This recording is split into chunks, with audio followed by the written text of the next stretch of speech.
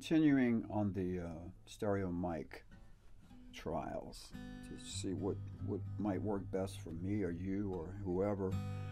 This is a, uh, there is a name for this technique, which I can't think of right now, but it's uh, basically, it's kind of invented by Neumann maybe with their head uh, microphone placement thing. Uh, it's basically you're emulating what your ears hear. So these two mics are kind of angled slightly.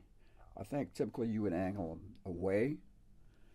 These are angled to the inside, so that might be a little different. Uh, but um, you know, this microphone is pointed here. This microphone is pointed here too, and they're about the same distance from that spot. So let's check that.